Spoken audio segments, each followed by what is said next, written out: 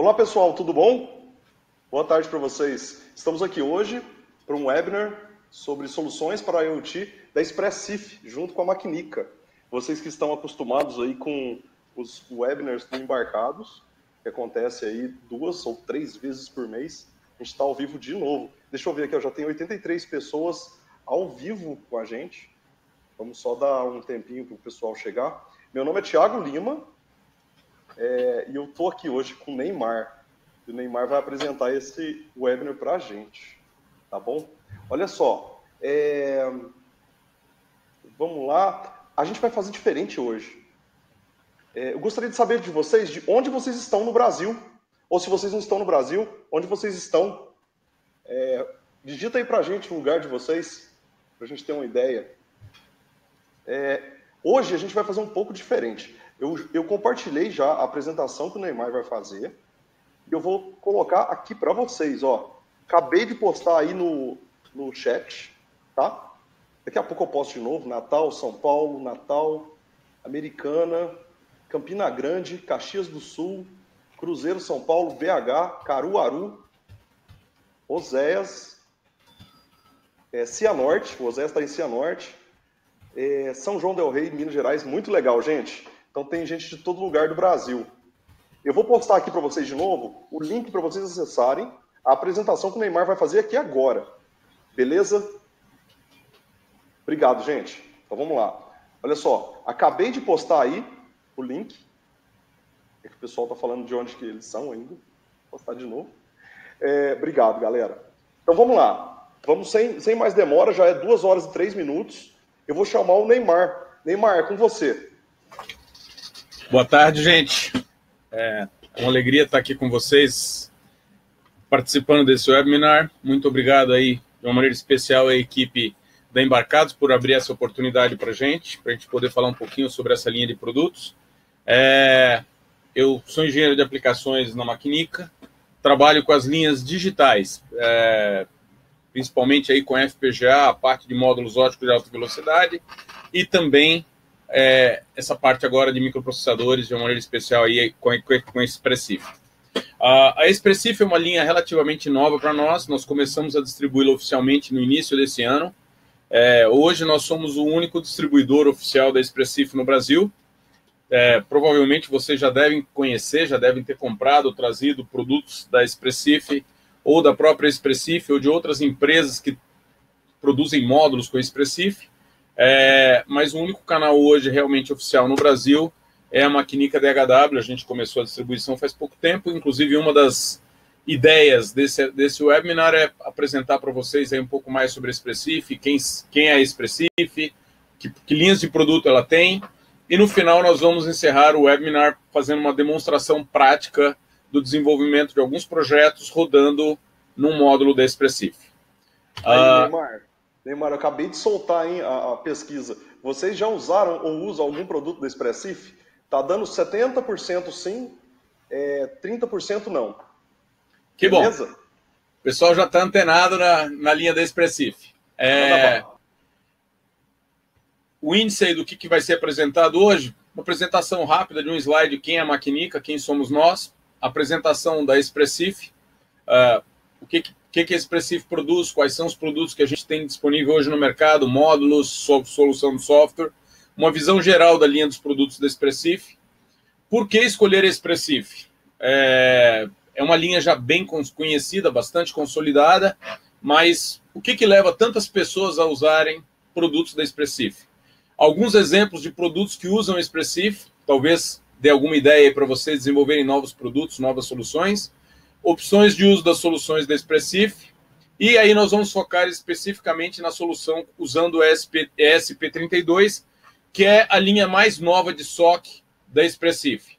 Então vamos apresentar o SOC ESP32, as variantes de SOC, os módulos e kits de desenvolvimento disponíveis, os sistemas de desenvolvimento da parte de software que estão disponíveis para esse, para esses produtos.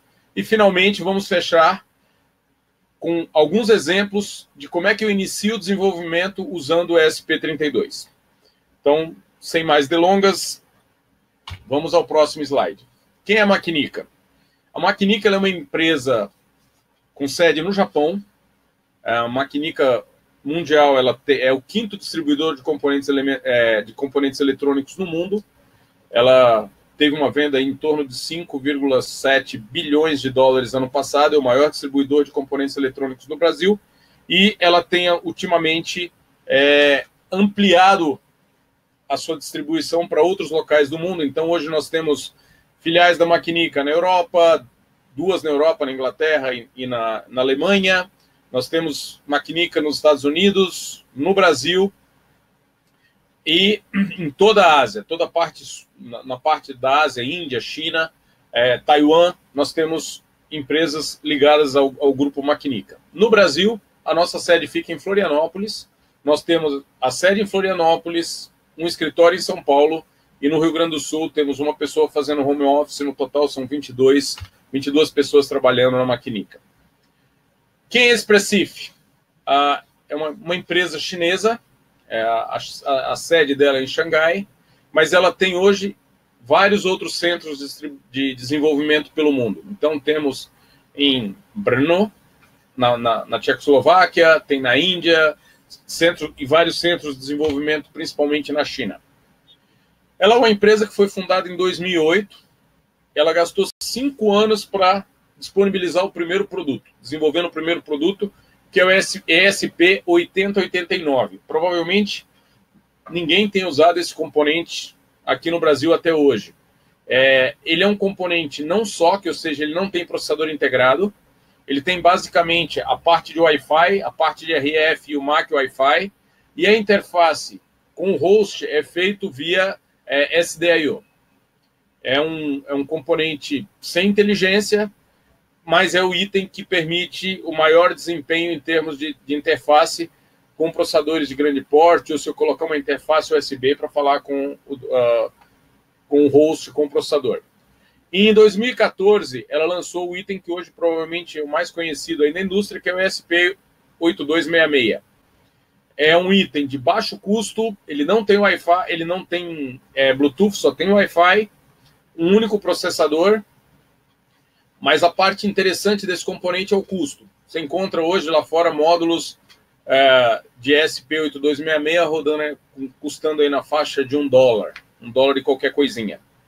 É, e foi o que realmente impulsionou a Expressif para se tornar um líder mundial na parte de IoT, principalmente em soluções integrando Wi-Fi. Em 2016, entre 2014 e 2016, ela abriu outros outros centros de desenvolvimento, contratou mais engenheiros. Em 2016, ela lançou o ESP32. A, a ideia do ESP32 é, é um componente para as próximas gerações de IoT. Então já é um item dual core, ele tem dois processadores, a gente vai ver daqui a pouquinho, mas ele já vem com um ou dois processadores é, da, do tipo extensa, um, item que foi desenvolvido pela Tensilica, e é um processador de 32 bits RISC. É, além disso, ele tem um coprocessador de ultra low power, que roda numa, numa frequência bem baixa, armazenando é, os dados que ele precisa em uma memória não volátil é, do RTC. E a grande vantagem nesse modo é que o consumo é muito baixo. Além disso, ele vem com Bluetooth, BLE, Bluetooth barra BLE, Wi-Fi, uma, uma característica interessante do Wi-Fi que a gente vai ver daqui a pouquinho, ele tem é, quatro engines Wi-Fi, você pode implementar até quatro interfaces Wi-Fi simultâneas uh, dentro do chip. E em 2017, um ano depois de, de ter lançado esse componente, é, ela alcançou a venda de 100 milhões de chips vendidos. Hoje, a Expressif é o maior distribuidor mundial de produtos para IoT, passando na frente de, de várias outras empresas que concorrem nesse mercado e nem, nem todas elas são pequenininhas, são algumas empresinhas aí, como por exemplo a Broadcom, uh, que também está tá forte nesse mercado. A Qualcomm também está forte nesse mercado. Pesona. É, e hoje, e hoje a, a Expressif tem uma, um volume de vendas maior do que elas para a linha de IoT. É, já vendeu mais de 100 milhões. Alguns outras, algumas outras coisas que ela tem incluído ao longo dos últimos anos integração com a plataforma de, de nuvem da Alibaba, é, ela fez um acordo com a Amazon e conseguiu integrar o FreeRTOS na solução ESP32. Alguns dos exemplos de aplicação que a gente vai rodar hoje vão estar usando o FreeRTOS. E integração com a plataforma de nuvem da Beidou, que é o maior, maior sistema de data centers hoje na China. Uma olhadinha agora nas linhas de produto. Não são muitas linhas. Ah, o primeiro é o SP8089, que foi o primeiro produto lançado, ele tem basicamente uma interface Wi-Fi sem nenhum processador embarcado, ou seja, eu preciso de uma inteligência externa. Depois lançou a versão ESP8266. Ela, esse componente ele tem 1 megabyte de flash. O ESP8285 foi o primeiro, que praticamente já não não está sendo comercializado. O, o ESP8266 é uma versão single core, ele tem um único processador extensa, é, L106. Existem algumas versões de módulo disponíveis para esse componente. Então, tem o SP-WROM S2, o SP-WROM 02 com interface UART, que provavelmente é o mais conhecido, e duas subversões do ESP-WROM 02, que é as subversões D e U. A única diferença entre essas duas subversões é um ele vem com antena integrada na PCB, o outro ele usa um conector U.LP para antena externa, aqueles conectorzinhos pequenos de celular. O item que nós vamos focar hoje é o ESP32. Então é um item que tem uma CPU de 32 bits, uma ou duas CPUs MCUs de 32 bits, interface Wi-Fi mais interface Bluetooth. Eu tenho hoje três, nós temos hoje três versões distintas desse componente. É, versão dual core, versão dual core com mais flash dentro, com flash dentro do componente, que seria o SP32. D de dual core, 2 a quantidade de memória flash integrada. Então, a versão sem flash interna é o D0. A versão com flash interna é o D2, que tem 2 megabytes de flash interna. E eu tenho também a versão S0, que é a versão single core, sem flash interna, que é a versão mais enxuta e mais barata desse componente. É, alguns, algumas variantes de kit de, de módulos disponíveis. SP32 Pico D4, que tem um, um, um kit de desenvolvimento só para ele. Depois eu tenho a versão solo, que tem um único processador. A versão WROM 32, eu tenho três subversões também desse componente. A WROM 32D, U e a, e a SPWROM 32. Todos esses, essas três versões, elas têm 4 megabytes de memória flash externa, não tem flash interna, e é, eu trabalho também com as, a diferença entre as versões D e U, uma tem antena interna, a outra tem só o conector da antena e eu uso a antena externa. E, finalmente, eu tenho a, a versão SP32W Rover. Qual que é a diferença entre esse componente e as versões WROM? O chipset deles é exatamente o mesmo. A diferença é a versão W Rover, ela tem mais memória, ela tem 4 megabytes de PSRAM 4 megabytes de flash externa e, eu, e ele vem em duas versões, uma versão com antena na PCB e a outra com antena externa, tá? E eu tenho kit, nós temos hoje kits de desenvolvimento para cada uma dessas versões de módulo. É, a grande vantagem de você utilizar módulo, a gente vai falar um pouquinho sobre isso mais para frente, é que você já recebe o pacote completo, ou seja, tenho processador, eu tenho toda a parte de memória, já está tudo testado, tudo funcionando, eu não tenho nenhum tipo de é, incompatibilidade. É, quando você desenvolve uma placa para integrar, por exemplo, o kit, mais antena, etc., tudo numa placa proprietária, é, nós distribuímos tanto o chip quanto os módulos. Se quiser comprar o chip, não tem problema. É, normalmente, a, a, a, grande questão é quando você vai integrar tudo na sua placa, o desenvolvimento, principalmente da parte de RF, ele normalmente demora mais, dá trabalho e você tem chance de errar. Comprando o kit, o módulo, aliás, já está tudo integrado, tudo pré-testado, é bem mais simples. Mas, para aqueles que tiverem interesse, nós também distribuímos só o chip. Bom, hardware a gente sabe que é só a metade da história. A outra metade é, legal, e como é que eu vou desenvolver software para isso? Esse, às vezes, é um grande problema com alguns, algumas soluções disponíveis no mercado, que para desenvolver o software, eu acabo precisando comprar plataformas de desenvolvimento de software que, às vezes, são bem onerosas. No caso do Expressif, o foco deles é, literalmente, tornar disponível para todo mundo a solução de IoT. Então, a, grande a grande sacada, digamos assim, da Expressif foi liberar todas as plataformas de software abertas, gratuitas, a maioria delas com código-fonte disponível.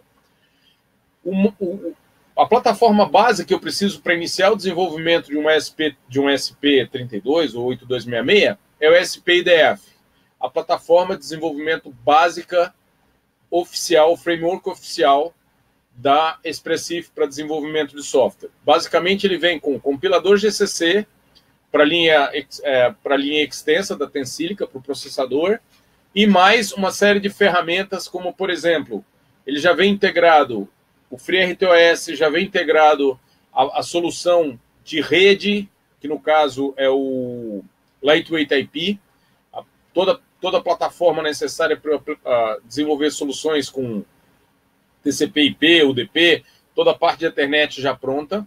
Uh, depois, o próximo módulo é o ESPAT. Qual que é a ideia? É, o ESPAT ele já vem com uma versão de software que você carrega no módulo, onde o módulo responde a comandos AT diretamente. Quando você usa essa solução? Normalmente, quando você está usando um sistema que precisa usar um processador externo. Então, você já tem todo o teu sistema desenvolvido, eu só quero usar, por exemplo, Wi-Fi e Bluetooth do, meu, do, do módulo. Simples. Uma interface Ethernet, SPI, SPI X1, X2, X4, faço a conexão com o ESP e mando por comando AT a, os, os, comandos para habilitar a rede, me logar na, na rede Wi-Fi, é, fazer varredura da rede Wi-Fi e assim por diante. SP Touch é a solução para fazer a conexão entre módulos com a, com a troca de chave via Wi-Fi. ou entre módulos, ou entre um módulo e, uma, e, e um, módulo WPS, onde você autoconfigura o sistema. Tem um módulo, um, um bloco, um, uma solução já pronta para isso. Uma outra solução interessante é o ESP Mesh. Ele me permite implementar uma rede mesh usando a infraestrutura de Wi-Fi. É, nesse modo, você consegue conectar até 100 nós. E o mais interessante, como em qualquer rede mesh, os nós não precisam se ver todos, entre aspas. Ou seja, eu, eu posso configurar nós é, como roteadores e não como endpoints. Então, ele vai pegar um pacote recebido de um outro módulo e passar para frente para um nó que esteja, não esteja no alcance do módulo original, criando redes mesh. Isso é bem interessante, por exemplo, em sistemas de alarme com muitas é, com muitos pontos, onde, por exemplo, eu não queira colocar um monte de roteadores. SPNAL é uma infraestrutura que permite você falar um módulo com outro módulo diretamente. Nesse caso, ele funciona basicamente como um rádio, um rádio de mão dupla, entre aspas. Eu falo dois nós sem precisar de infraestrutura, eu não preciso de um access point, eu não preciso de nada. SP Áudio é a solução da Expressif para o desenvolvimento de aplicativos baseados em voz. Por enquanto, ele só suporta o ESP32.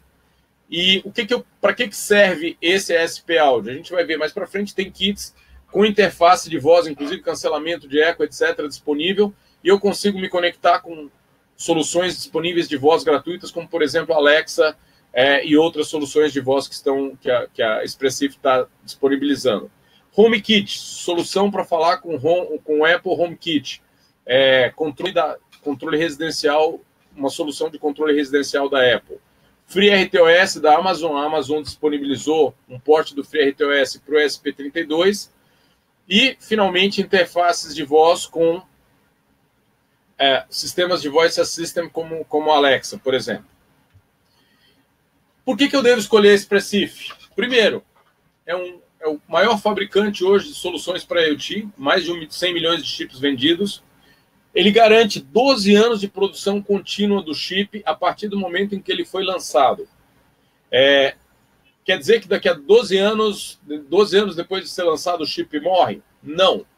O que vai acontecer depois de 12 anos é, Expressif vai avaliar o consumo e, se o consumo ainda continua alto, ele continua produzindo aquele produto até que o consumo seja reduza-se a um ponto que ela não consiga manter a produção. É, uma outra grande vantagem é eu não preciso comprar, eu tenho um ecossistema completo, inclusive incluindo dispositivo, módulo de software, software de desenvolvimento gratuito, kits de desenvolvimento para todos os níveis de conhecimento que o usuário possa ter. Eu posso fazer desenvolvimento, por exemplo, desde um Arduino, que é uma interface mais simples, até linha de comando, ou integrando, no, integrando em outros IDEs que a gente vai ver daqui a pouquinho. Eu não preciso comprar um IDE, um SDK de software específico para fazer desenvolvimento para ele. E uma outra coisa interessante é, todos os produtos têm range de temperatura estendido de menos 40 mais 85 graus, e alguns têm grau automo tem é, range automotivo de menos 40 mais 125 graus para maior confiabilidade. Normalmente você tem que se você procurar no site da Expressif, ele não te diz quais tem o range automotivo, mas é só perguntar que a gente ajuda nessa parte. Uma outra grande vantagem é o hardware tem suporte a features de segurança em, de criptografia em hardware. Por exemplo, eu tenho sistema, é, um módulo de criptografia AES, Advanced Encryption Standard, um módulo de criptografia simétrico, RSA, SHA para hash e um True Random Number Generator integrados em hardware no chip. Com isso, eu consigo ter uma solução robusta em termos de segurança disponível.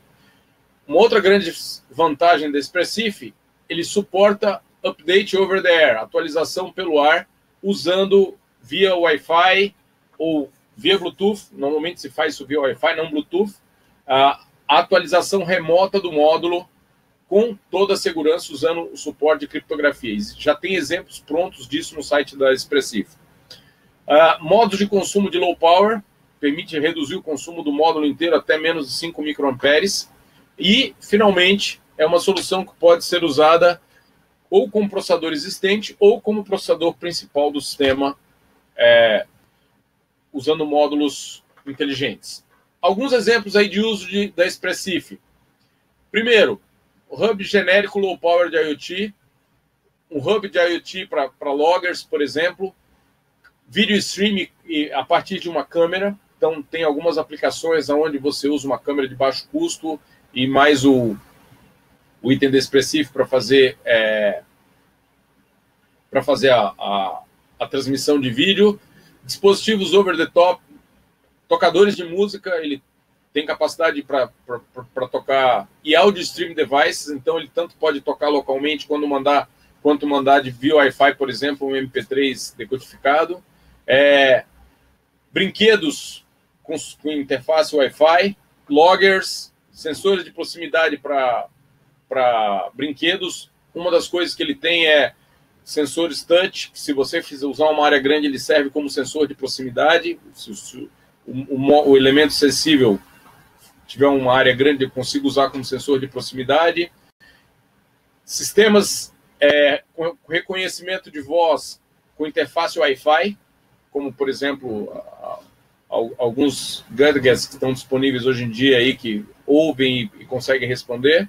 Headsets de áudio, é, automação residencial, redes mesh, automação industrial wireless, monitores para monitor para criança, tanto de voz quanto de vídeo, dispositivos vestíveis, wearables, uh, sistemas de localização por Wi-Fi, tags de segurança e assim por diante. Então, a gama de produtos que a gente consegue fazer com os itens da Expressif é muito grande.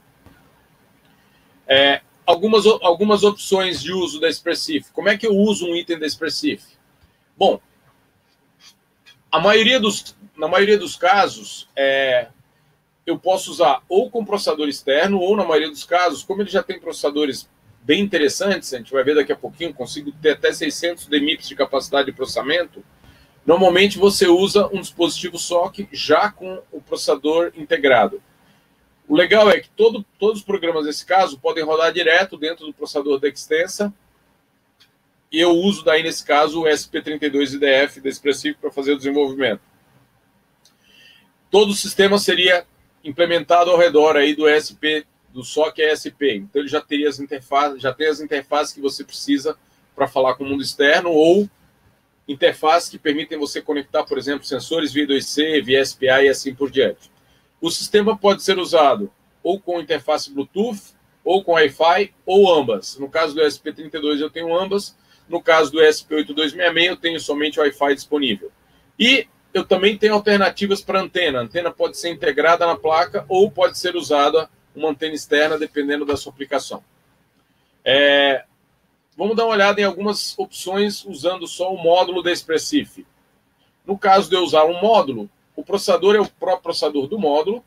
É, todos os programas vão rodar dentro do, do, processador extensa. E o interessante é, o módulo ele já vem para mim testado, com a parte de RF projetada e testada. Eu não preciso esquentar a cabeça com o desenvolvimento de antena, é, permitindo um tempo para o mercado muito curto. Uma outra grande vantagem é, normalmente, quando você compra um módulo, sai mais barato do que se você for tentar produzir um módulo. Ou seja, quando eu incluo processador, LDO, memória, que ele normalmente já vem com 2 MB de flash externa, 4 MB de memória flash externa, etc, etc, etc. Se eu fosse tentar produzir esse módulo aqui, custaria bem mais caro do que comprá-lo pronto. Só a lista de material normalmente já custa mais caro do que trazer um módulo pronto testado. E a grande vantagem nesse caso é tempo para o mercado. Eu consigo entrar rapidamente, fazer uma prototipação rápida e ir para o mercado muito rapidamente. Último tipo de solução, eu vou ter um processador externo mais um módulo ESP, um módulo da Expressif. Essa alternativa, ela normalmente é usada quando você já tem todo o teu sistema desenvolvido usando um outro processador externo, software pronto, já está tudo pronto, eu só quero incluir agora as funcionalidades, por exemplo, de Wi-Fi e Bluetooth. Nesse caso, a melhor alternativa é fazer a interface ou via SPI ou via interface serial. E a interface serial, nesse caso, ela vai até 5 megabits por segundo, não necessariamente até 115. E eu faço toda a transferência usando o comando AT com o módulo principal. A grande vantagem nesse caso é, você já tem o sistema desenvolvido, você já tem o teu software pronto, você só vai adicionar a funcionalidade de Bluetooth barra Wi-Fi. Vamos dar uma olhadinha agora rapidamente nas soluções do SP32 propriamente dito, ou seja, é, vamos focar no componente. Ele é um item, uma MCU de 32 bits, dual core, tem Wi-Fi mais Bluetooth e vamos dar uma olhada agora nas linhas que nós temos disponíveis para ele, tanto de módulos quanto de, de processador. Em termos de framework, como eu tinha comentado, a gente tem o ESP-IDF, é a plataforma principal de desenvolvimento para o ESP32, está o link ali embaixo. Aliás, no final da apresentação eu coloquei todos os links que eu usei para fazer a implementação, então se vocês quiserem depois acessar, baixar, etc., sintam-se à vontade. ESP-A3, AT, é o conjunto de software já prontos para cada módulo, nesse caso você tem que baixar a versão específica do módulo ou do chip que você está utilizando. E o interessante é, ele já vem com todo o desenvolvimento para que você acesse, para que gravando no, no, no, módulo, no componente, você acesse o componente via comandos AT. Toda a parte de comando, tem a lista dos comandos AT disponíveis, tem comando AT, por exemplo, para fazer conexão com Wi-Fi, desconectar do Wi-Fi, checar as redes que estão próximas, intensidade de sinal, canal que está usando, etc. Tudo isso já tem disponível é, via comando AT.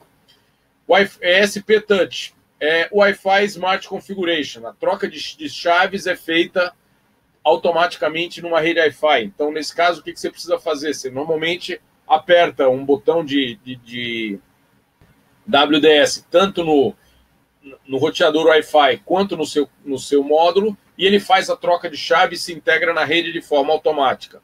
Já tem também um, um, um exemplo disso prontinho, exemplos disso e todo, toda a parte de suporte em software pronta. Implementação de rede mesh usando o ESP32. Eu tenho o ESP Mesh, que permite que eu implemente redes mesh com até 100 nós. ESP Now permite fazer a conexão ponto a ponto usando a infraestrutura de Wi-Fi. ele não vai falar Wi-Fi com todas as camadas de software e hardware necessárias para o Wi-Fi. Ele vai usar basicamente o Wi-Fi como um rádio. É, Simple Pair suporta comunicação ponto a ponto usando a infraestrutura. E nesse caso, no caso do SP, desculpa, o SP Now, ele usa toda a infraestrutura do Wi-Fi e permite eu conectar, por exemplo, o um módulo com outro dispositivo externo, um PC ou um dispositivo Android. No caso do SP Simple Pair, ele usa a infraestrutura de Wi-Fi, mas ele faz a conexão de dois módulos de forma mais simplificada. Ele não tem todos os layers do é, todos os layers, digamos, de comunicação Wi-Fi implementados. É mais rápido, mais simples, mas permite só conexão ponto a ponto. ESP áudio, então, como eu tinha comentado, suporta é, já, já vem incluído no SPIDF, todo suporte para o SP Audio, você não precisa baixar nada à parte, só funciona para o SP32, ele tem recursos como cancelamento de eco, é, trabalhar com múltiplos microfones, e, é, gerar saída para alto-falante e assim por diante. E finalmente a SP Tools permite que programe o um módulo e faça medidas de demonstrações usando, é, usando essas ferramentas disponíveis nesse link que foi passado abaixo alguns exemplos de framework disponíveis para SP32. SP32 HomeKit permite que o, o SP se integre a uma rede Apple HomeKit para controle, controle residencial.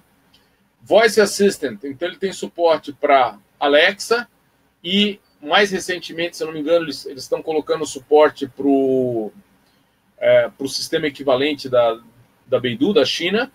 E ele tem um kit específico, que é o Lira, que já vem com todo o hardware necessário para você trabalhar com múltiplos microfones, fazer a amostragem, é, é, etc. Co exemplos de código. Se vocês entrarem na página de exemplos da, da Expressif, vocês vão ver que tem bastante coisa lá disponível de código, muitos exemplos. Como é que eu faço a conexão Wi-Fi? Está aqui um código. Quero abrir um socket TCP, IP, quero abrir um socket UDP. Você tem uma quantidade. Como é que eu pisco um LED? Como é que eu leio, sei lá, o sensor Hall interno? Tem uma série de modos, de exemplos já prontos, você baixa, compila. É, exemplos de aplicativos também tenho para falar para colocar, por exemplo, em Android. A gente vai ver um hoje no final da apresentação. E download de documentos, tem um link completo de documentos. Ué, ficou faltando essa daqui. Deixa eu ver se eu abri a apresentação correta.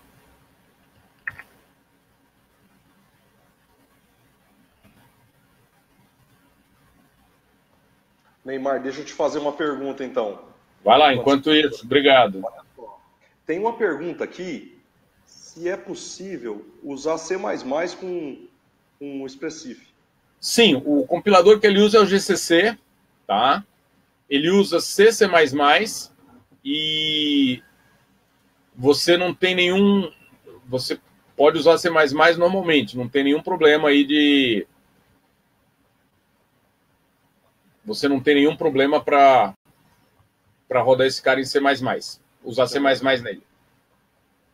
Beleza. Tá? Eu acho que eu vou ter que trocar de tela aqui para um outro, só para esse slide, o restante parece que tá ok. Mas esse, esse visualizador aqui, ele não está apresentando exatamente essa, essa figura. Então eu vou. Desculpa aí pelo, pelo inconveniente. O Tadeu, comentou, o Tadeu comentou sobre o QT e o Leandro comentou sobre Python. QT não suporta, Python ele suporta uma versão bem enxuta, mas QT ele não suporta. Tá? Não tenho, não conheço nenhum porte é, então eu vou, eu vou compartilhar agora aqui a. O Washington está comentando aqui que a IDE dele é o Arduino tá. e que ele tem uma instalação Easy oficial da Expressif. O Arduino, eu vou falar um pouquinho sobre isso já já. É, tá ele, ele hoje ele está ele tá crescendo bastante, ou seja, é, a versão oficial, digamos, o sistema oficial de desenvolvimento da, da, da Expressif é o ESP-IDF. O Arduino ele roda, entre aspas, em cima do ESP-IDF, mas nem todas as funcionalidades do ESP-IDF foram portadas para o Arduino ainda.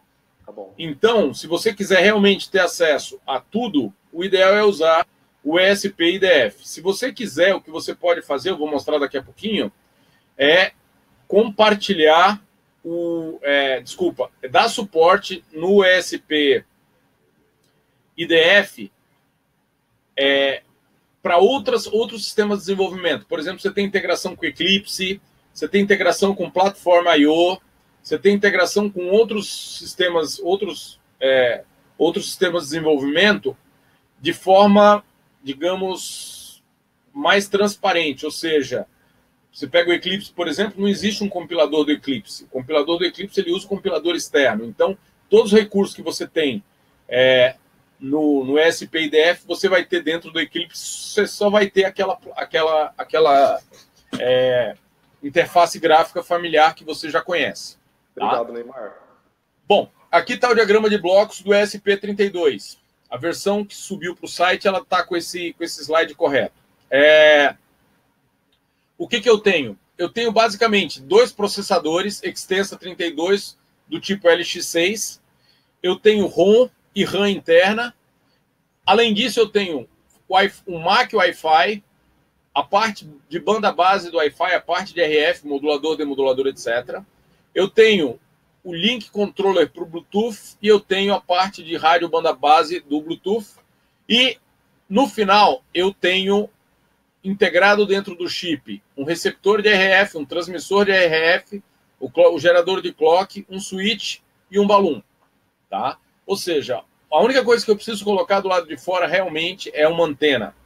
Além disso, no caso do SP32, eu tenho módulos criptográficos em hardware para fazer SHA, é, SH 256, 512, AES, AES 128, 192, 256, RSA, algoritmo de é, criptográfico por curvas elípticas e geração de números aleatórios, um True Random Number Generator.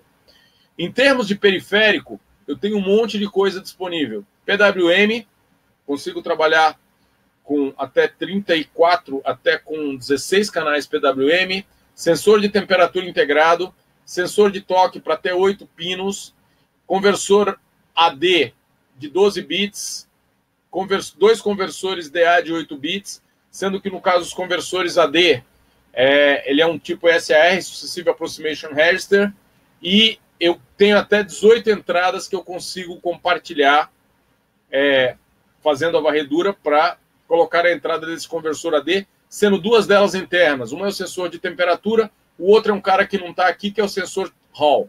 Uma das demonstrações que eu vou fazer, inclusive, é com o sensor Hall. É, PWM, interface infravermelho para vários padrões diferentes, então você basta colocar um fotodetetor externo e ele já tem interface para você trabalhar com controle remoto. Tem uma interface Ethernet 10-100 megabits, é, interface MII, 4 bits de dados para transmissão, 4 bits para recepção, ou RGMII, que é a versão reduced, que o número de pinos cai de, cai de, de 17 para 9 pinos, onde ele vai ter um bit de transmissão e de recepção, e eu preciso, é óbvio, de um FI externo, ele não tem FI integrado, então eu tenho que colocar o FI externo e depois o conector Ethernet. Interface CAN, várias UARTs, até 34 pinos de, é, de GPIO, interface SDIO, interface I2S, interface I2C e interface SPI. Então, essa cara, entre aspas, o diagrama de blocos é, desse componente.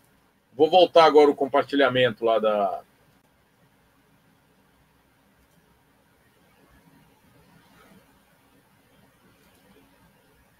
Olha só, Neymar, tem uma pergunta aqui, ó. Oi. Se é preciso calibrar o ADC quando você vai usar o ADC interno do USP? Olha, normalmente você não precisa você, é, você não precisa fazer calibração se você puder trabalhar com a, com a, com a se, digamos a, a, a, curva de de resposta dele tiver ok para você. É, o que que você quando você precisa usar um quando você precisa calibrar, quando você precisar de uma resolução maior, digamos, do que a, a, a resolução nativa, o erro nativo dele. Aí você realmente precisa de, de, de calibrar o seu, o, seu, o, o seu ADC. Aí normalmente você usa tabela ou é, calibração linear mais simples de dois pontos, né? Ou seja, o ponto mínimo, o ponto máximo e ou três pontos na curva e bueno. Mas normalmente não, ele já tem uma precisão bastante boa, tá? Ah, o que, que eu tenho de dispositivos? Então eu tenho 18, 18 sinais de entrada para conversor AD, três interfaces SPI, três interfaces UART I2C, 16 canais de PWM, dois conversores DAC de 8 bits, duas interfaces I2S, é, sensores capacitivos, uma interface Ethernet com interface MII ou RMII, interface infravermelha. Dentro do componente ainda tenho os módulos de criptografia, é, sensor de efeito Hall e assim por diante. O ESP32SOC é o componente básico.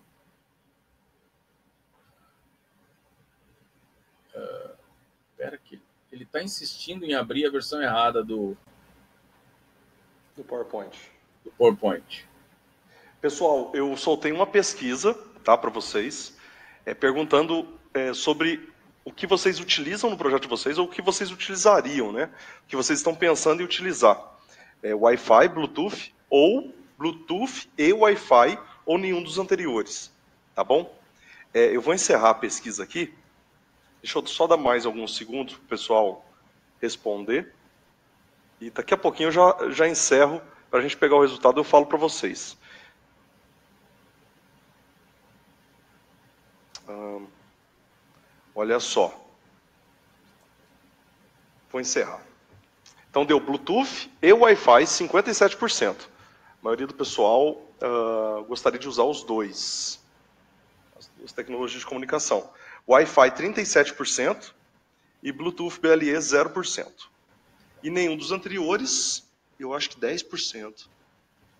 Isso, 10%. Obrigado, pessoal, pelas respostas. Vamos lá de novo, agora sim, com a apresentação correta até o final.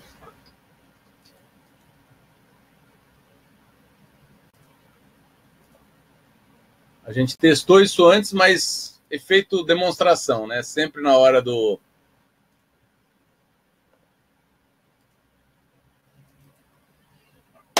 Principais características, então, do SP32.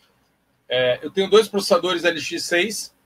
Eu posso colocá-los operando até, é, até, 300, até 240 MHz, dependendo do processador. Tem gente fazendo overclock para até 320 MHz. É, eu tenho, na verdade, PLLs que eu consigo configurar com a frequência. Trabalha com Wi-Fi BGN, é, B54 megabits por segundo, G vai até 100, mega, é, 100 megabits por segundo e o N vai até 150 megabits por segundo. Bluetooth no modo dual mode, ou seja, Bluetooth clássico ou BLE 4.2. eu tenho 520 KB de SRAM interna, mais 448 KB de ROM, mais 16 KB de RAM no RTC, RAM não volátil, que é a mesma RAM que é utilizada quando eu uso o, o, o, o coprocessador de ultra low power. Interface é, suporta segurança, WPS, AES, é, hash SH2, RSA, ECC, Elliptic Curve Cryptography, Random Number Generator. É, no modo de baixo consumo, ele chega a 5 microamperes é, de consumo. E, além disso, eu tenho um monte de periféricos disponíveis, que a gente vai ver alguns deles na parte da demonstração. Em termos de capacidade de processamento, ele chega, rodando a 240 MHz, ele chega a 600 DMIPS de capacidade de, processamento e ele é implementado usando a tecnologia de 40 nanômetros na fábrica, é, usando o processo de fabricação da TSMC, Taiwan Semiconductor Manufacturers. Quais são as versões de processador, de, de, de processador que eu tenho? Então, eu tenho SP32 D0 é, D dual core, 0, 0, é, 0 megabytes de flash interna, é, da, DQ6 é um, é um encapsulamento um pouquinho maior, ele tem 6 por 6 milímetros, um QFN de 6 por 6 milímetros. Eu tenho o D0 WD 5 por 5 milímetros, mesmo número de pinos externos, tem 48 pinos. O D2 WD, esse cara tem 16 megabits, 2 megabytes de flash interna. E eu tenho a versão SWD, que é single core, nada de flash interna, mesmo encapsulamento. A diferença entre eles normalmente é só o preço. O preço, você tem flash interna, custa um pouquinho mais caro. Se é single core, hum, eles provavelmente não fazem dois, uma versão single core, outra dual core, eles simplesmente desligam dos núcleos e acabou. Uh, a versão Pico D4 é a versão de mais baixo custo. Ele trabalha com um único processador single core. A versão não é LX6, é L106, rodando a 160 MHz do processador.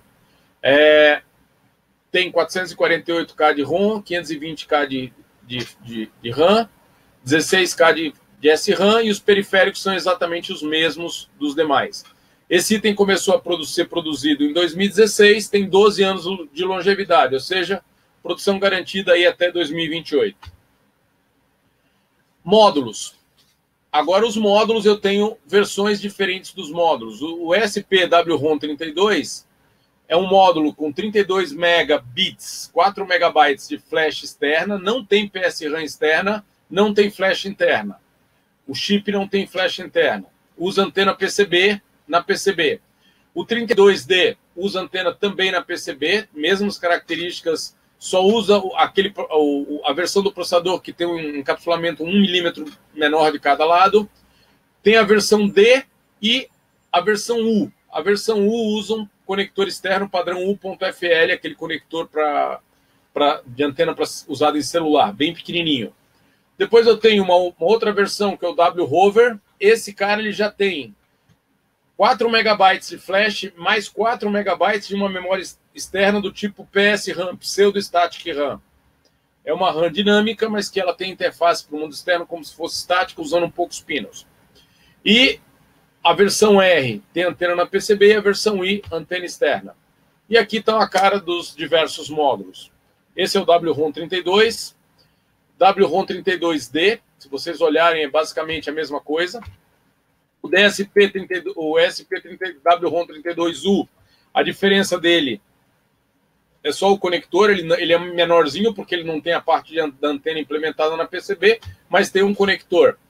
O W Rover ele também tem é, duas versões, a versão com antena na PCB e a versão com antena sem antena na é, com antena externa.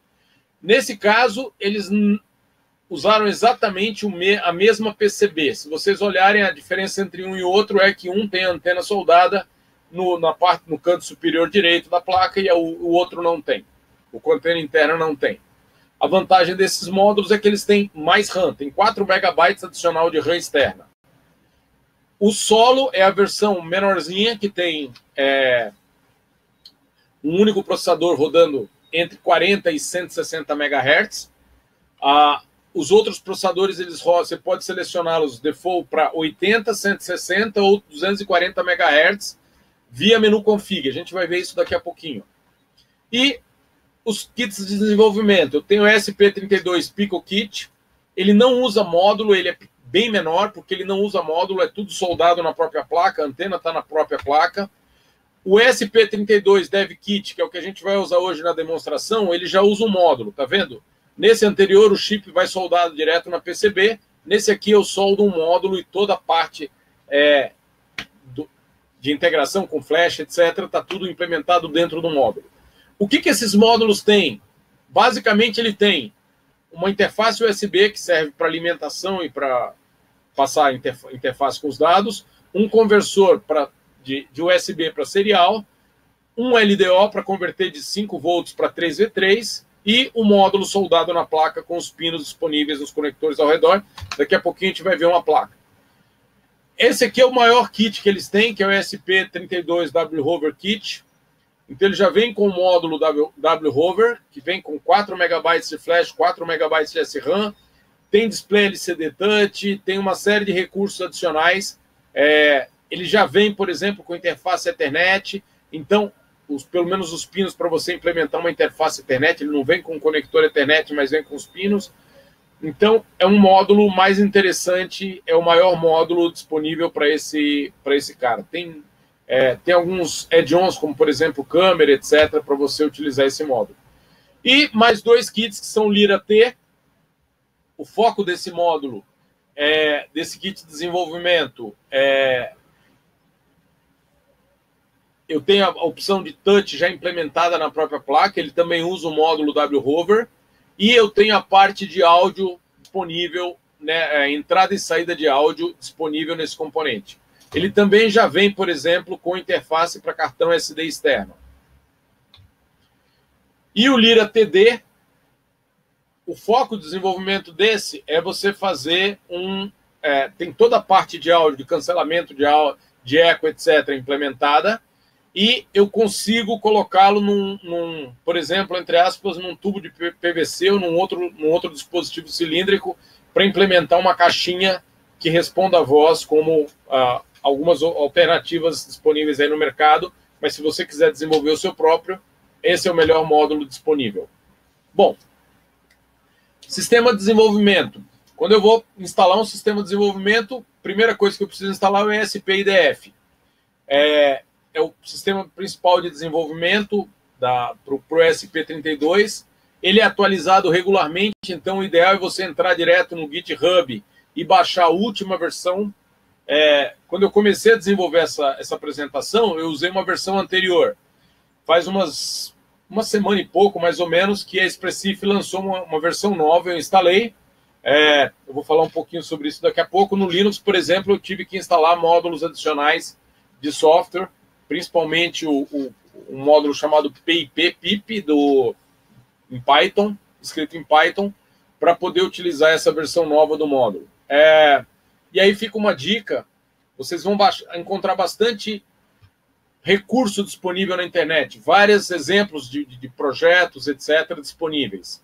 É, o problema dessas versões disponíveis de projeto é que, às vezes, eles são feitos em versões antigas é, foram implementados usando versões antigas do SP IDF. Então, o ideal nesse caso é o quê? Das duas, uma. Ou você abaixa e usa a versão para o qual ele foi desenvolvido, ou você faz o que eu fiz com alguns exemplos, que eu tive que realmente reescrever parte do código, porque eles não rodaram de primeira. Deu erro, é, algumas, algumas estruturas, por exemplo, alguns. A, a, alguns módulos tinham sido modificados e ele simplesmente não subia. Então você vai lá, dá uma pesquisada, procura, atualiza para a versão nova. O último exemplo que eu vou mostrar, que deveria ser o mais legal, por exemplo, eu consegui fazer metade dele funcionar. A última parte não está rodando. Mas, falar um pouquinho sobre isso mais para frente. É, uma vez instalado o ESP, você vai instalar agora o, o, o ESP IDF. Agora você pode instalar os outros módulos que forem necessários para o seu desenvolvimento. Uma coisa interessante é a, a Expressif ela disponibiliza ou através da própria Expressif ou através da comunidade interface para outros sistemas de desenvolvimento, Eclipse, Arduino, Atom, mais, mais plataforma I.O. e assim por diante. Então, estou deixando aqui no, no, no, nos slides o link de como você fazer a integração com esses sistemas de desenvolvimento. No caso, a demonstração que eu vou fazer hoje é força bruta, ou seja, a gente vai pegar o, a gente vai pegar o, o sistema e desenvolver todo usando linha de comando, que é, é, é, bem simples, vocês vão ver que não é nada complicado. E, finalmente, esse último slide aqui é aonde você encontra as coisas dentro é, da, da, da Expressif. Então, tem o link para documentação. Lá dentro tem uma série de coisas. Tem datasheets, order information, design guidelines, referências, exemplos e assim por diante. Na parte de produto, você tem garantia de longevidade, certificados. Nos fóruns, você tem um GitHub, tanto para o IDF quanto para os SDKs, demonstrações e módulos e exemplos para módulos específicos do SP8266 e do SP32. E na parte de suporte técnico, você tem demos, aplicações, etc. como é que a gente começa o desenvolvimento com um SP32? A primeira coisa que a gente precisa comprar é, óbvio, o kitzinho de desenvolvimento. A versão mais barata é o SP32 Dev Kit C, tá? Que eu vou mostrar daqui a pouquinho, é o que eu estou usando aqui. Ele tem 4 é, eu preciso de uma área disponível no computador. No caso aqui, eu estou usando um Linux, Ubuntu 18.4.04 Long Term Support. Estou rodando com processador Intel, não precisa de ser tão um i7, não precisa de tanto capacidade de processamento, mas é o que eu tenho aqui. É, espaço disponível para instalação do ESP-IDF, você vai gastar aproximadamente 800 megabytes de, de, de disco. Para você colocar tudo, o ESP, mais é, exemplos, etc., eu gastei em torno de um GB meio. Se você quiser deixar bastante espaço, 4 GB é mais do que suficiente disponível em disco para isso. Eu tenho que baixar e instalar o ESP-IDF.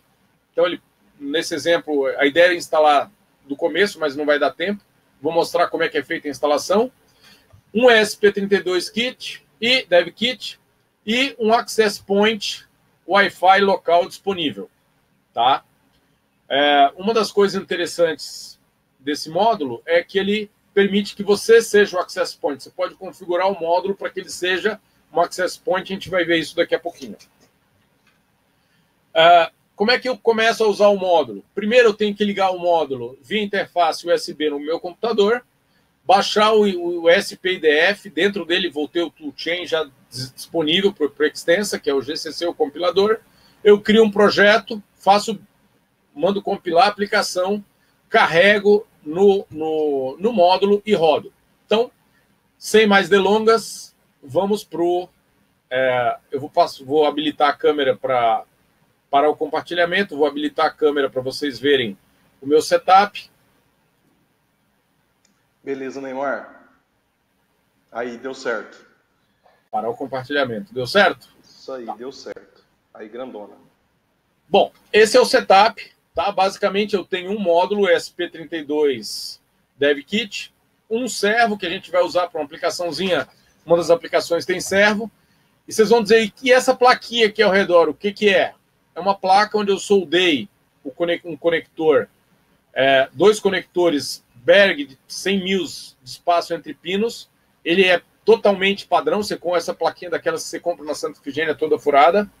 Se quiserem dar uma olhada, aqui está a plaquinha por baixo. Tá? Então, é uma placa padrão. É, por que, que eu coloquei esse capacitorzão aqui?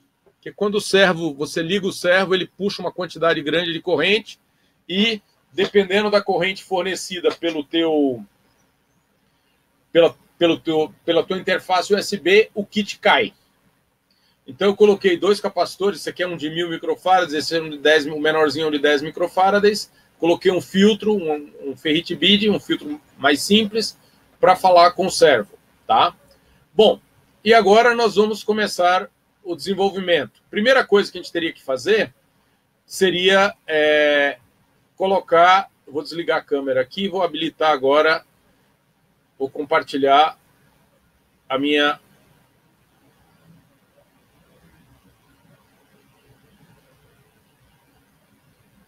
Fechar algumas janelas aqui, porque ele não está mostrando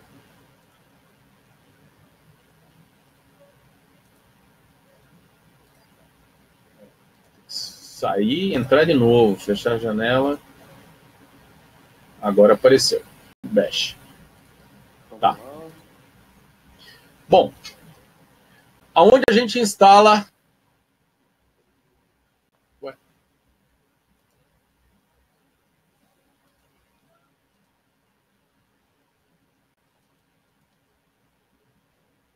Aonde a gente faz a instalação? No caso, no, no, diretório home, normalmente, se você der um LS, você vai ver que aqui eu crio um diretório chamado ESP. Ô, é... Neymar, Oi. A gente não está vendo. Estão vendo. Vamos ver. Agora sim. Agora a gente está vendo o terminal. Manda a bala. Tá. É, dentro do diretório ESP, Existem dois subdiretórios: o Extensa SP32LF, que é a parte de compilação, e o ESP-IDF, que é onde ficam os exemplos, os, as bibliotecas, etc. A primeira coisa que a gente tem que fazer é, no path, incluir esse diretório como esses diretórios como, é, como diretórios exemplo, como diretórios de é, onde estão os recursos para o SP32. Aqui no caso, eu fiz um scriptzinho, que é esse run SP32, que faz isso automaticamente. Então, eu vou só mostrar run ES, ESP32.sh. Tem uma, uma parte aqui, digamos que é, eu coloquei umas firulas para mostrar as coisas em cores. Então, o que, que ele faz? Ele exporta para o PEF o diretório ESP, extensa ESP32LF bin, onde estão os, os arquivos para compilar. Ele exporta o ESP IDF também, para você visualizar o. para você ter acesso aos exemplos e coisa parecida. E basicamente é isso. Depois ele sai. O único segredinho desse script é essa opção aqui no final, exec shell "-i". O que, que ele faz é, quando ele sai do script, ele mantém as variáveis de ambiente que ele setou dentro do, dentro do script, dentro do shell, quando ele estava rodando aquele script. Tá? Uh, bom, agora eu vou para o diretório aonde estão os, os exemplos. Eu fiz alguns exemplos, eu vou começar com o mais simples de todos, que é o Hello World. Ele basicamente mostra as. É, ele mostra as. Os, o conteúdo, ele dá um printf no conteúdo do sistema. Qual é a versão de processador que eu estou usando, qual quanto de flash eu tenho e assim por diante. É um exemplo básico, é o, é o primeiro exemplo aí que normalmente a gente roda, velho bom Hello World, em todos os sistemas.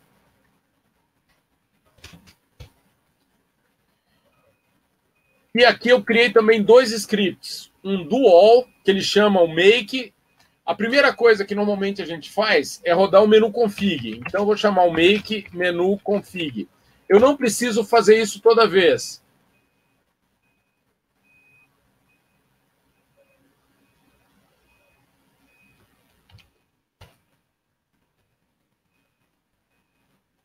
Ah, faltou eu rodar o. Faltou eu rodar aquele script do run sp barra sp32. Agora ele funciona. Make menu config. Essa é a cara do menu config. Ele tem uma série de opções que eu consigo configurar no meu sistema. Configurações do SDK, do bootloader, features de segurança, configuração da flash serial, partition table, table, opções de compilação e configurações do componente. Aqui nas configurações do componente eu configuro habilitar ou não Bluetooth, SP, é, Wi-Fi, número máximo de, de, de, buffers de recepção, número máximo de buffers dinâmicos, etc. Se eu alterar alguma alteração dessa, alguma, algum, alguma opção dessa, eu preciso salvar e sair. Eu não preciso fazer isso sempre. Eu faço isso normalmente uma vez e ele já usa para o restante do para o restante do projeto, dos projetos, enquanto eu não mudar a configuração, aquela configuração específica. Uma coisa interessante é eu consigo também incluir recursos adicionais na configuração. Por exemplo, make menu config. Quantas opções eu tenho aqui? Uma, duas, três, quatro, cinco, seis, sete. Sete opções. Eu vou para um outro módulo que eu tenho mais opções. Wi-Fi Soft AP. Make menu config.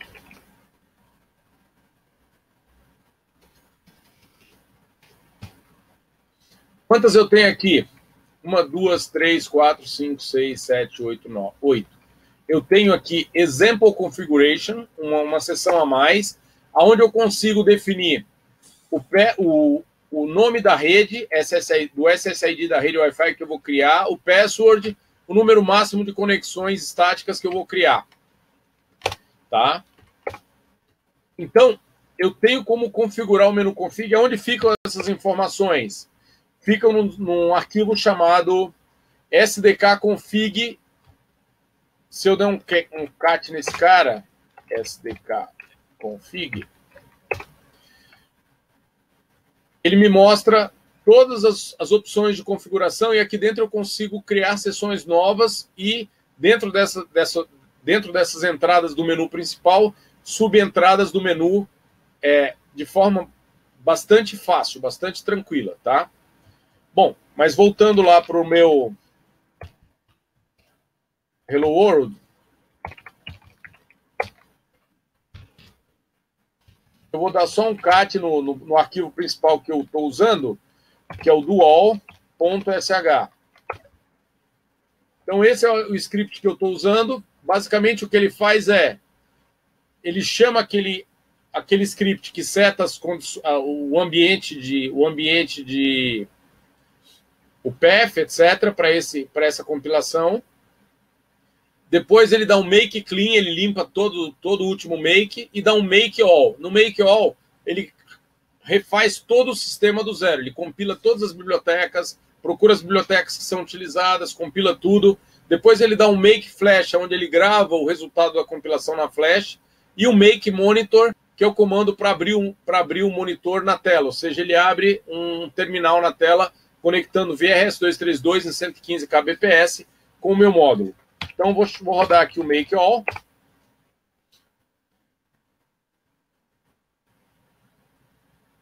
Vou fazer a primeira vez na mão.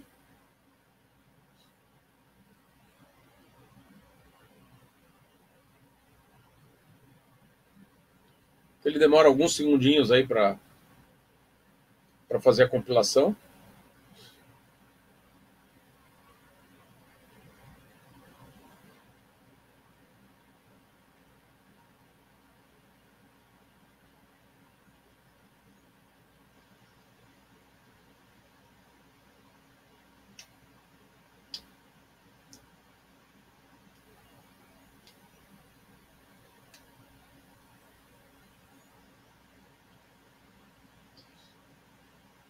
E alguns exemplos que eu tinha que eu preparei hoje foram esse, que é bem simples. Depois tem um outro que ele pisca LED de duas, três maneiras diferentes. Tem um outro que ele usa o sensor Hall, que é um sensor de campo magnético interno. É, e a gente eu vou pegar um IMIA para mostrar a variação. Ele faz a leitura e dá um printf na tela só do, do valor lido do sensor de efeito Hall. Uh, um outro que é um ele monitora, eu me conecto na rede Wi-Fi aqui de casa ele me mostra o canal. Terminou de compilar, agora eu dou um make flash. Ele vai carregar no, no, no SP32. O que vai acontecer agora é que ele parou de piscar o LED. Como esse cara ele só tem. E finalmente eu rodo o make monitor. Tá? Então ele vai me mostrar aqui as características Hello World e esse é um ESP32, um chip com duas CPUs, Wi-Fi, Bluetooth, BLE, revisão de silício 1 e tem 4 megabytes de flash externa. É o módulo ESP-WROM32, tá? Para sair, Ctrl, fecha, fecha colchete, fecha aquele colchete quadrado. Ele sai do monitor. Vamos rodar agora a versão do pisca LED. Eu vou rodar direto o Make Flash.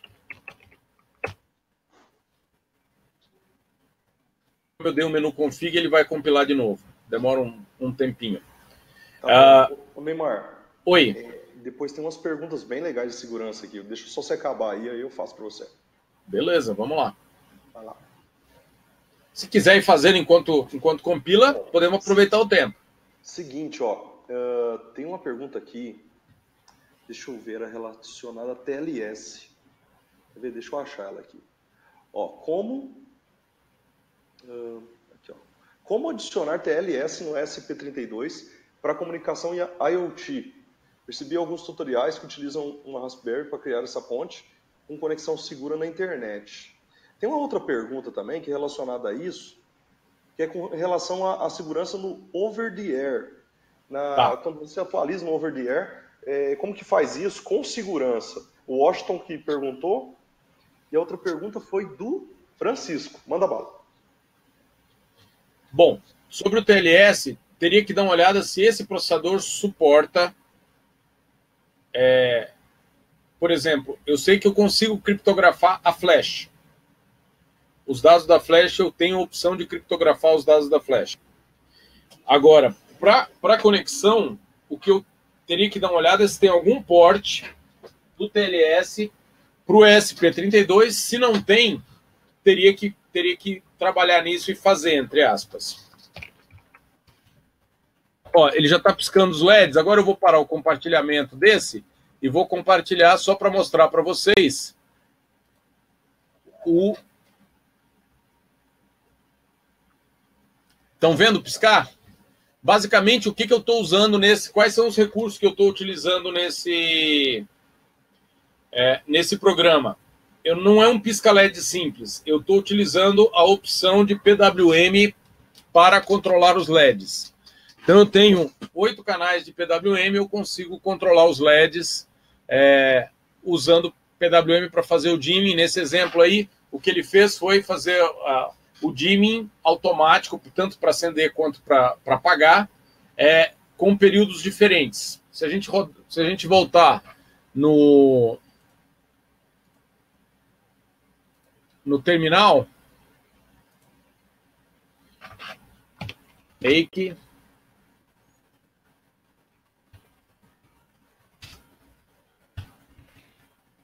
monitor. Então ele vai, ele vai me mandando as mensagens do que ele está fazendo. Fade in, fade out e assim por diante.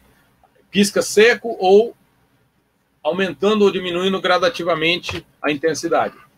Ah, voltando, no over, the, no, no, no over the air, o que, que ele usa? Primeiro, é, na hora de, trans, de transferir a, a chave para você decriptografar o pacote que você vai receber, o arquivo que você vai receber, é, ele usa, RS, é, usa RSA para fazer a transferência dessa chave. O arquivo normalmente ele vem criptografado em AES, que é mais rápido para você decriptografar. Usa o RSA para transferir a chave do AES. Você consegue decriptografar e armazená-lo na flash, criptografando a flash, tá? E no final você usa o você usa o SHA para fazer a validação do arquivo recebido, para criar o resto do arquivo recebido e garantir que ele está ok. Tá? Então, com isso você consegue fazer uma atualização realmente segura. Respondida a pergunta? Respondido. Respondido. Vamos rodar agora o exemplo. Wi-Fi Connect.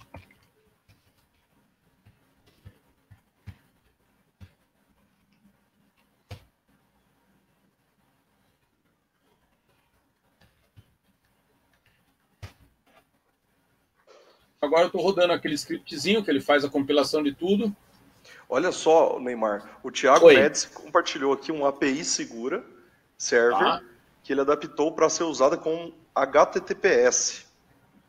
Ele passou um link aqui, ó, do GitHub dele. Tá no GitHub? Muito é, legal. Por favor, compartilhe com o pessoal. Ele compartilhou aqui. Então, ele fez uma forma uh, segura, né, para você poder uh, se conectar no, no servidor dele usando HTTPS.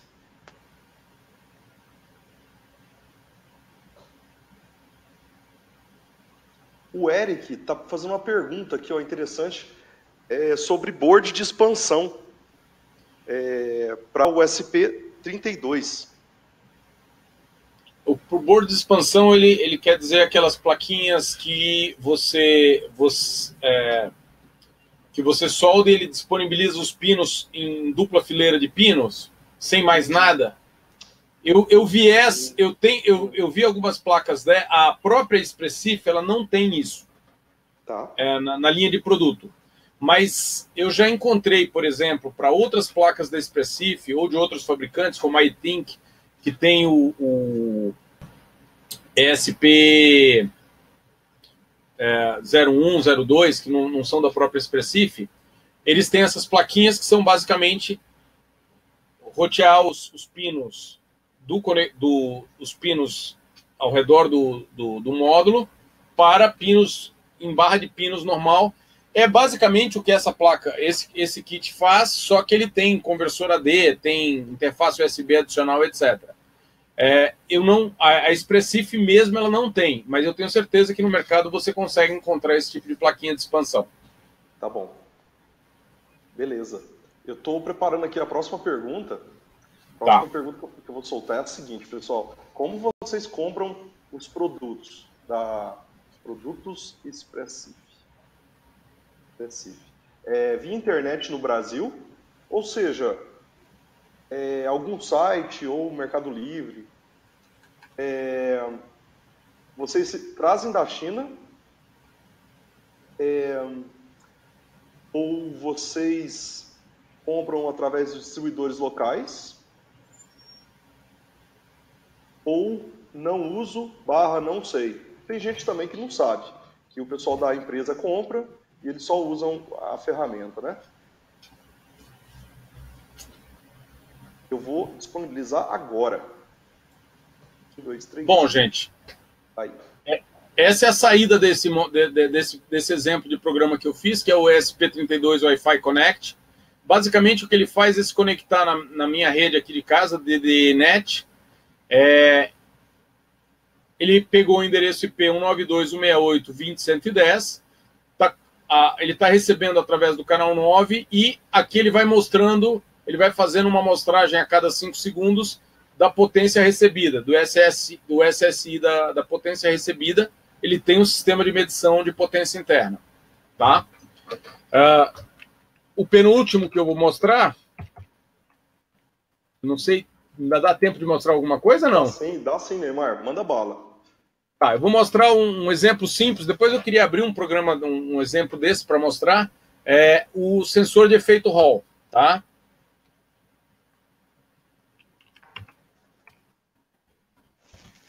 Ao sensor.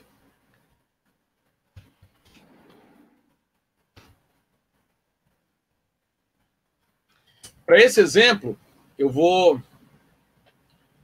eu vou mostrar o eu vou usar um pequeno imã que eu vou passear ao redor do ao, ao redor do, do módulo, tá? O sensor ele fica dentro do próprio chip esse módulo ele não ajuda muito nesse sentido, ele tem uma, uma, uma, uma capa de aço inox, mas ela não. É uma, ela atenua um pouco o campo, o campo magnético, mas não tanto. Então a gente vai ver que a gente consegue é, identificar variações no campo magnético. Depois eu passo para a câmera para mostrar o que eu estou fazendo à medida que eu vou. Na, como estou rodando esse, essa apresentação webinar no Linux, é, por alguma razão, o Linux não me deixa compartilhar toda a tela, ele me deixa compartilhar só janelas individuais para esse sistema. Então, eu tenho que ficar alterando. O ideal seria que compartilhar essa tela toda ficaria bem mais simples, mas é o que temos para hoje, vamos lá, né? Olha só, Neymar, ah, o resultado foi o seguinte: compra via internet no Brasil, 39%. Traz da China, 41%, que, que foi o ganhador da pesquisa. É, não uso, não sei, 14% e distribuidores locais oficiais 6%. Ah, legal. Ó, é, tem uma pergunta aqui do Amir que eu, eu acho que cabe. O ah. Amir, ele, ele é de Fabriciano, do Vale do Aço de Minas Gerais. Deixa eu pegar aqui a pergunta dele. Ele fala sobre o Zephyr. Você já usou o Zephyr no SP32? Ele está perguntando se ele precisa de algum toolchain ou alguma coisa especial. Não, nunca usei. Tá bom. Tá? É... Possivelmente você você precisaria não do, do toolchain, mas você precisaria do make monitor.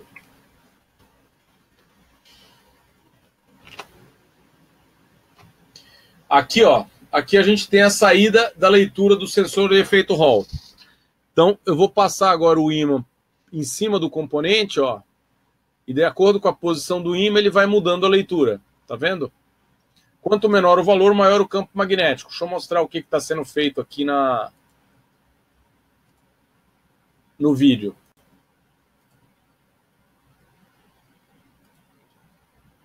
Aqui eu tenho um conjunto de ímãs de neodímio e eu estou passeando, entre aspas, com os ímãs em cima do em cima do, do sensor de efeito Hall.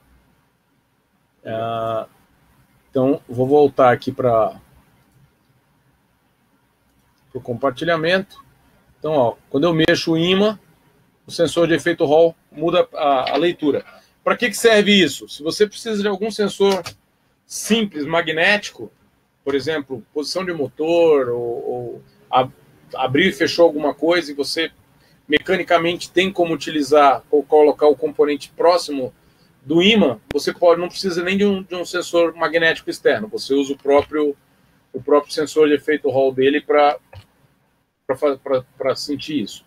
O penúltimo exemplo que eu vou fazer é o soft AP, ou seja, é um access point implementado no no próprio ESP32. Tá joia. Ah, aí vem a pergunta: poxa, eu posso usar um ESP32 como access point, como por exemplo Wi-Fi extender? Resposta curta é sim e não. É... Teoricamente você pode. Qual é o problema de você utilizar um ESP32 como um Wi-Fi extender? Não sei quantos já compraram, já usaram um um Wi-Fi extender. É, o, que, o, que, o que o Wi-Fi extender faz? Basicamente, ele pega as configurações de uma rede e ele gera num outro canal a mesma rede, com mesma senha, com tudo igual, só com potência bem mais alta para você aumentar o alcance da tua rede Wi-Fi. Então ele basicamente tem duas interfaces Wi-Fi. Uma onde ele funciona, onde ele atua como um nó, como um terminal, a outra onde ele atua como access point, ou seja, ele, ele vai é, retransmitir e fazer, fazer as funções de um access point.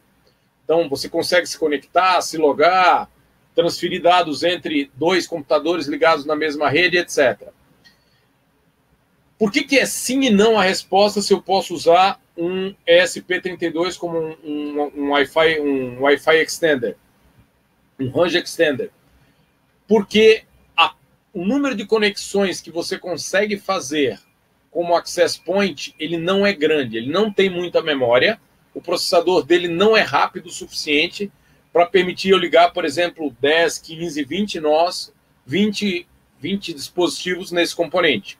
Segundo, mesmo no modo N, que é no modo N eu tenho 150 megabits por segundo de, de taxa de transferência máxima por canal, o processador ele não consegue tratar uma quantidade muito grande de conexões nessa velocidade e com certeza ele insere uma latência maior do que um, um, um, um access point melhor. Qual a diferença, por exemplo, entre um access point é, comercial ou, ou enterprise e um access point para uso residencial, para uso doméstico? O Access Point para uso doméstico ele suporta poucos nós, poucas conexões simultâneas, 12, 15, 16. Um, um, um Access Point versão Enterprise ele suporta uma quantidade bem maior de pontos de acesso. Tem Access Point que acessa, permite você, roteadores Wi-Fi que permitem até duas mil conexões simultâneas. A diferença é, esse cara tem um processador com uma capacidade gigante de processamento, muita memória, taxa de transferência bem alta disponível. Bom, agora ele está aqui, ó. My, o, o, nome da rede é MySSID e o nome do, nome do módulo é. Primeiro, deixa eu mostrar usando o meu celular que apareceu uma rede nova. Então, eu vou voltar para a câmera. É, então, o, nome da rede que ele criou é, é MySSID minúsculo e o password é MyPassword minúsculo. Então, vou mostrar agora, vou parar o compartilhamento, vou compartilhar a câmera para mostrar o celular. Eu vou tirar ele aqui da, de cima. Tá compartilhando ou não? Deixa eu ver aqui. Ainda não apareceu. Aí, compartilhou. Só que você tem que. Você tem que sair. Ah, não, dá pra, dá pra ver, eu acho. É... Não, é melhor você sair do terminal. Saia do terminal e só deixa a sua Ué. câmera. Apareceu o celular? Apareceu o celular sim, só que ele está no cantinho aqui. Isso. Agora ficou grandão. Muito bom. Estão vendo que tem duas redes aqui? A rede DDNet, que é a rede aqui de casa, e o outro é o MySSID. Então, quando eu aproximo o quando eu aproximo o módulo, a potência aumenta, a hora que eu afasto, ela diminui. Agora eu vou resetar o módulo para a rede MySSID desaparecer. Apertei o reset, sumiu o MySSID. Vou ligá-la novamente, espero um pouquinho, ela vai aparecer. MySSID. E Não, agora aqui no celular eu consigo me conectar a essa rede. Então vem aqui, Wi-Fi.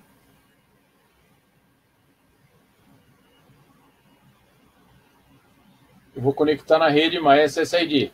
MySSID. Conectar.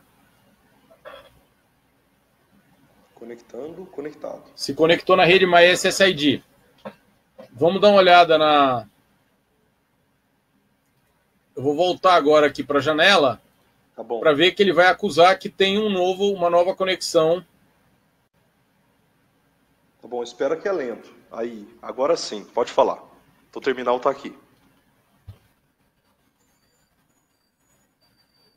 A gente está vendo o terminal já. Tá vendo aqui, ó? Wi-Fi, soft AP, a estação se conectou.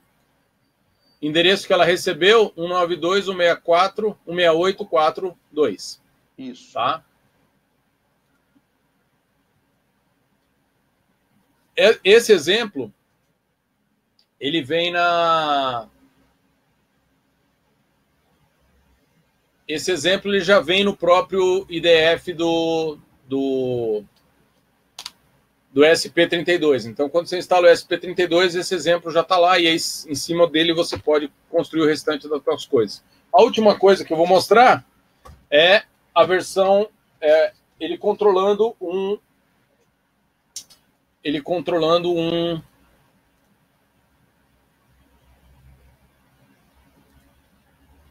um servo. Tiago, tá ouvindo? Muito bem, muito, muito bem. Tô Opa, vendo. Apareceu. Tô vendo sim. A gente está vendo certo. Manda bala.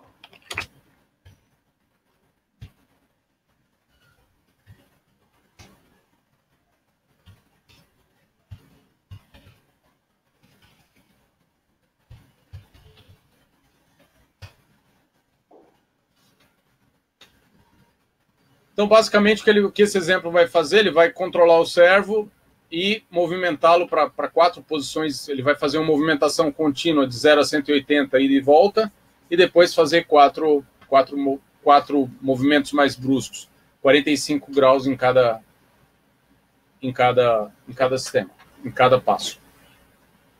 Tá bom.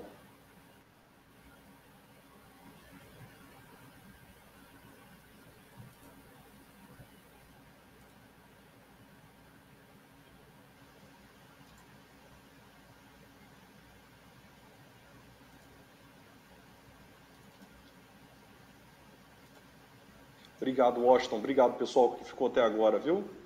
É, não saiam ainda, que tem algumas perguntas. Tem umas perguntas muito legais aqui ainda.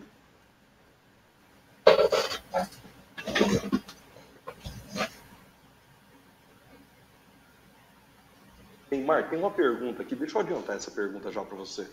Tem uma pergunta que é o seguinte: então, ó, vamos lá. Como, como, que eu transformo código em binário para uma empresa programar numa linha de produção? Essa pergunta é boa, hein, Neymar? Normalmente, o que, que você precisa fazer? Se você já tem o binário, o compilador, o que ele faz por trás disso tudo, o que, que ele. Qual, o que, que o compilador faz? Ele gera no final do dia um ponto ELF. Tá? Exe, exe, é, um, é um padrão da indústria chamado ELF Executable and Loadable Format. O que você vai precisar na linha de produção é fazer a conexão via, em geral, via serial padrão, porque nele você não tem como fazer a gravação externa. Então você vai no, no teu produto final você vai ter que deixar pelo menos disponível ou para pinos com mola, para fazer a, a gravação, para acessar a interface serial, ou coloca um conversor USB serial externo e conecta de alguma maneira mais ágil, entre aspas, na tua placa, normalmente o que você faz é você põe dois furos, por exemplo, distantes um do outro de uma certa distância, é um sistema que a que a Microchip desenvolveu para gravar as placas deles. Você tem dois furos e quatro ilhas. Você baixa um conectorzinho que tem pinos daquele tipo mola, ele, ele, ele faz a gravação. Agora ele vai começar a funcionar. Tá, tá fazendo a gravação agora, tá? Ele, e ele faz a gravação e quando você retira, ele não fica pino nenhum lá. Você não precisa colocar conector nem nada. Aí tá o, o, o, o sistema rodando, né? Ele vai. Como ele tá solto, é bem levinho, ele fica tremendo. Mas ele vai e volta de 3 em 3 graus, fazendo a movimentação de 0 a 360 e depois de 45 em 45 graus. Tá? Legal. Então, esse é um exemplo simples controlando. Tem um outro exemplo que seria controlando usando um aplicativo no Android. Ele está funcionando metade. Ele dá o um broadcast, o aplicativo do Android reconhece, desenha, deixa na tela para eu posicionar, mas o retorno não está funcionando. Eu tentei colocar esse exemplo para funcionar ontem à tarde, não funcionou. Eu falei, quer saber, deixa quieto. É, ele nem compilou na primeira rodada. Então, uma, fica a dica aí quando você for baixar um exemplo da, do, do GitHub ou de, ou de alguma outra fonte desse tipo, cheque qual foi a qual foi a versão que eles usaram para compilar e tá. tenta, se você não quiser ter problema, tenta usar essa mesma versão, porque senão você vai ter que fazer modificação no código, que foi o que eu acabei tendo que fazer, tá? tá bom. bom. gente, Neymar, por hoje antes, era isso. Peraí, Neymar, antes Oi. de terminar, antes de você terminar, peraí. É, sobre a pergunta do Leonardo de como transformar o código binário para a empresa programar na linha de produção, tem um aqui relacionado a isso também. É, se a gravação do microcontrolador é feita via serial bootloader ou de alguma outra forma. Qual que você indica assim, para produção, entendeu? Uh, tá. O que que, o que, que, o que, que dá para fazer, então, na produção? Primeiro, se você tiver uma, uma, linha de produção com uma quantidade grande de placas a serem gravadas, você tem que levar em conta que cada placa vai gastar, ele gasta aí 20, 30 segundos para fazer a gravação. Usando, uma, usando a interface que a gente está usando aqui nessa demonstração, que é uma, uma interface RS232 rodando a 115 kbps. Eu tenho como acessá-lo via SPI, eu ganho bastante tempo. O ponto é, a maior parte do tempo de gravação não é gasto na RS232 e sim no apagamento da flash e na, na, na nova gravação. E esse tempo você não consegue reduzir. Tá? Não tem como acelerar esse processo. Então, uma, uma opção é você desenvolver algum sistema de gravação onde você possa colocar várias placas e fazer a gravação, às vezes usando outro ESP32, por exemplo, para fazer a gravação via interface serial, ou PC com várias interfaces USB fazendo essas, essas gravações em paralelo. É uma alternativa. A outra, se no teu processo de produção você tem uma cama de prego para testar o produto depois, como muitas empresas com volume alto têm, o que você pode disponibilizar nessa cama de prego são é, alguns pinos, onde você deixa em ilhas, por exemplo, a interface com RS232 ou SPI, e faz a gravação por essas interfaces. É a maneira mais, mais simples. Beleza. É, teria uma outra alternativa, mas essa eu teria que ver mecanicamente qual a, a, a factibilidade disso, que é gravar o próprio módulo antes de soldá-lo na placa. Bom. Tá? Mas aí você tem que ter um sistema externo. Eu desconheço uma, uma, uma giga de gravação desse tipo disponível hoje no mercado que você consiga gravar o módulo pronto. O que, que vem gravado de fábrica no módulo? Interface para comandos AT. Tá? Isso é o que vem gravado de fábrica. Via comando AT você consegue acessar o módulo e fazer tudo. Beleza. Beleza. Obrigado, Neymar. Eu vou soltar a última pergunta, que é o que te chama atenção nos módulos da Expressif. Ferramentas gratuitas, baixo custo, opção de utilizar módulos, todas elas ou nenhuma delas. Manda bala aí para a conclusão, Neymar. Então tá bom. Gente, era basicamente isso. Ah, só um slide aqui de encerramento, né, de fechamento. A ideia foi apresentar nesse webinar os produtos, a linha de produtos da Expressif, com foco no SP32. E só recapitulando, as principais razões que eu tenho para usar a Expressif são: é o número, é, o, é, o, é, é a empresa que é o número um hoje em soluções de IoT, é, consegue fazer custo, é, projetos com custo bem competitivo. Só para ter uma ideia de preço aí, uns módulos do SP é, 8, é, do SP 32, eles estão saindo na casa de 2, 3 dólares FOB, preço lá fora, para volumes altos. Ele chegaria aqui no Brasil, é, aí tem que ver como é que seria feita a importação, mas normalmente ele chega num, num valor mais, mais alto, por causa dos nossos maravilhosos impostos. Um SP8266, que é a versão mais simples, ele está custando em torno de um dólar e qualquer coisa, é muito barato, tão barato quanto o Arduino. É, você tem a solução completa num único SOC, já tem kit de desenvolvimento, software gratuito disponível, ou seja, não preciso gastar nada para realmente começar a desenvolver para esse componente.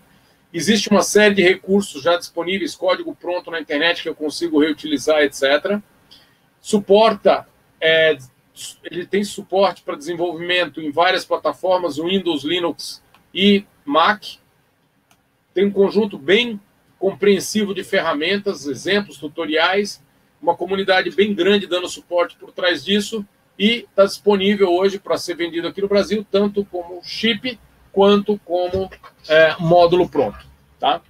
Aí uma, os links, no final do, da apresentação tem os links que eu utilizei, então se vocês quiserem começar a brincar, os links de como instalar, de onde baixar, como fazer integração com o Eclipse, com o Atom e assim por diante, está tudo aqui disponível.